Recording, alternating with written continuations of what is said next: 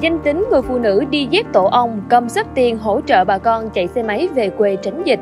Mới đây, đoạn clip ghi lại hình ảnh người phụ nữ đi dép lê, tay cầm một sắp tiền mặt hỗ trợ cho người dân đi xe máy về quê, lần lượt mỗi xe 500.000 đồng, đã được chia sẻ rần rần trên các hội nhóm và nhận được cơn mưa lời khen của dân mạng.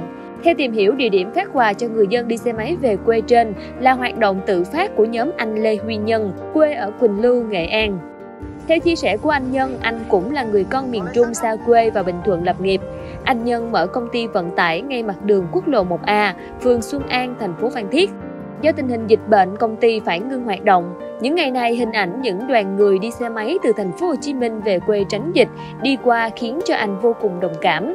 Nghĩ là làm, anh và những người trong gia đình đã tự tổ chức phát nước, sữa, bánh mì, xăng cho bà con hồi hương. Ngày đầu tiên tổ chức, Hoạt động đã được nhiều người dân xung quanh hưởng ứng, trong đó có người phụ nữ phát tiền trong clip. Chị tên là Huệ, người quê ở Nam Định, hiện sinh sống và làm nghề buôn bán hải sản ở Bình Thuận. Cũng chung nỗi niềm thương cảm với những người dân tha phương, chị đã chung tay cùng với nhóm hỗ trợ thêm tiền mặt cho bà con đi đường.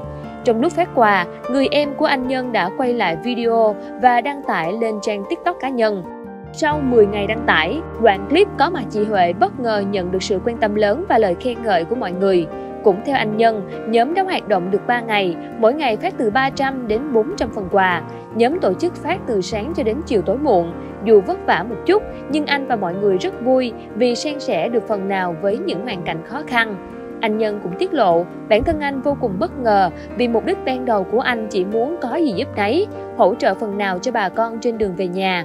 Nhưng sau khi đăng tải, lượt like, chia sẻ tăng ầm ầm, một số người còn gọi điện thoại liên hệ xin gửi quà tiền mặt để cùng nhóm giúp đỡ người dân. Tuy nhiên hiện tại nhóm của anh Nhân vẫn mong muốn tự mình giúp đỡ người dân bằng những phần quà nhỏ nhưng đầy ý nghĩa của mình.